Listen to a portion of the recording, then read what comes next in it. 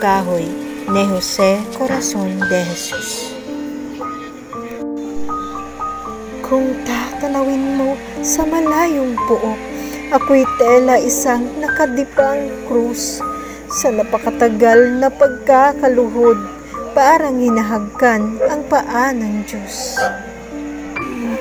Organong sa loob ng isang simbahan ay nananalangin sa kapighatian habang ang kandila ng sariling buhay magdamag na tanod sa aking libingan. Sa aking paanan ay may isang batis, maghapot magdamag na nagtutumangis.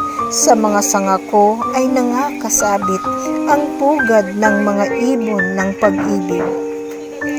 Sa kinislap-kislap ng batis na iyan, asa muri agos ng luhang nunukal, at saka buwang tela nagdarasal, ako'y binabati ng iting malamlang.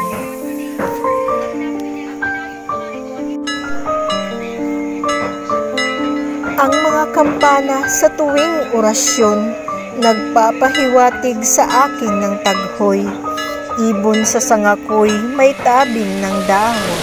Batis sa paakoy, may luha ng daloy. Ngunit tingnan nyo ang aking narating, natuyo, namatay sa sariling aliw.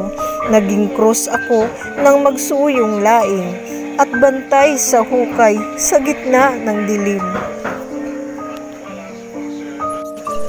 Wala na. Ang gabi ay lambong na luksa. Panakip sa aking namumutlang mukha. Kahoy na nabuwal sa pagkakahiga. Ni ibon ni tao'y hindi na matuwa. At iyong isipin ng nagdaang araw, isang kahoy akong malagot malabay.